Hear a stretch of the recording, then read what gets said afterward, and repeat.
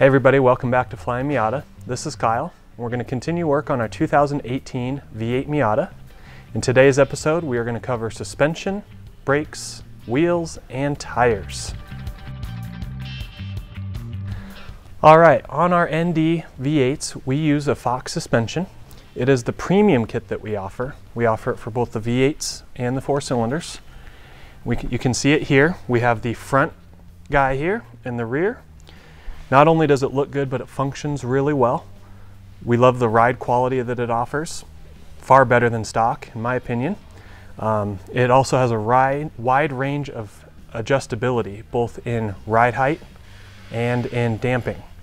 So you can see here we are using Eibach springs. We have 12 inch main springs on the rear, 10 inch main springs on the front. We also use a helper to take up the slack.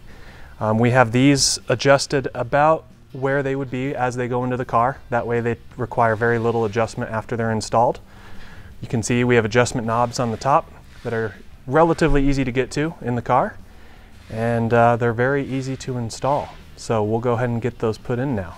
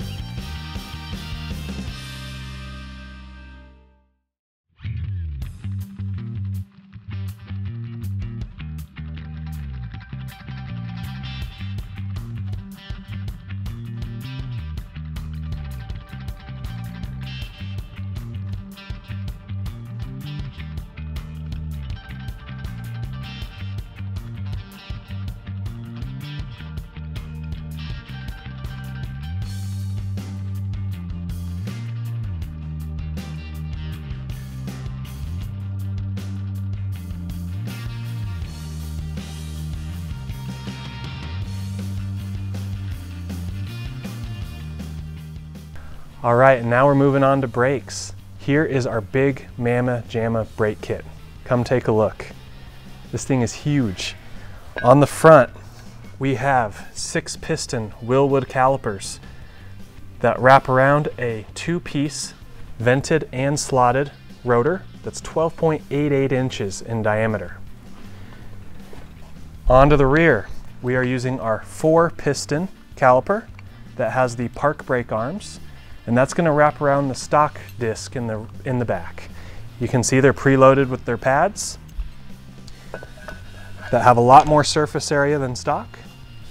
So they're going to give better performance, better cooling as necessary with this car that's probably going to be subjected to some high performance driving.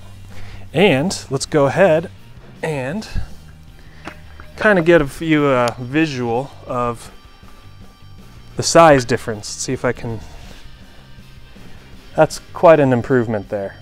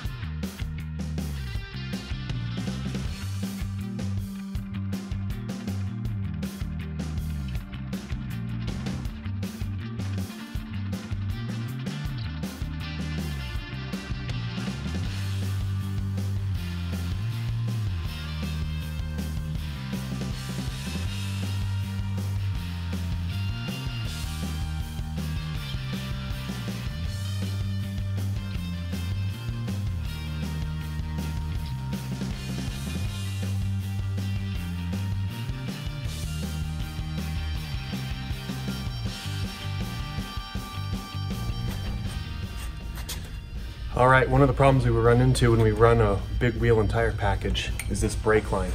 The tire will be able to run into it under full compression. So we're gonna go ahead and relocate this so it's safe to run a large wheel and tire package.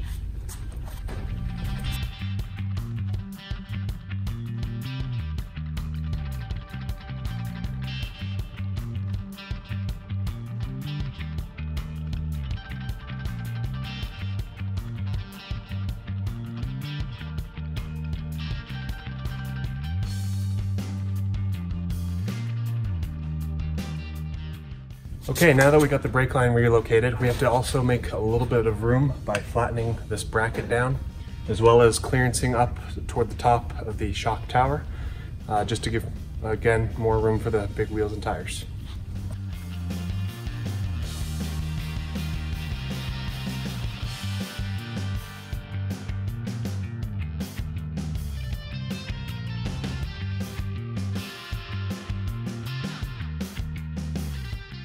All right, now we're on to wheels and tires.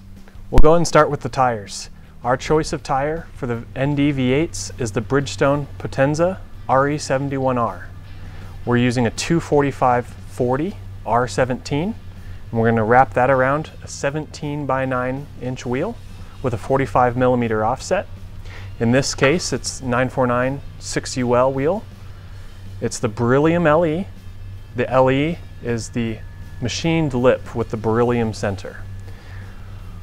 All right, we use this combo because it's lightweight, attractive, and we specifically use this tire because it is an excellent street and track tire. Has a 200 tread wear rating, so it's plenty sticky, um, but does have uh, good tread for the street as well. It's an excellent package for these cars. Um, in this case, because this is a 2018 plus, it uh, does have the tire pressure monitors so we are going to, instead of transferring over from the old tires, we're going to go ahead and throw new ones in there. Um, but they could be transferred if, if that was your choice.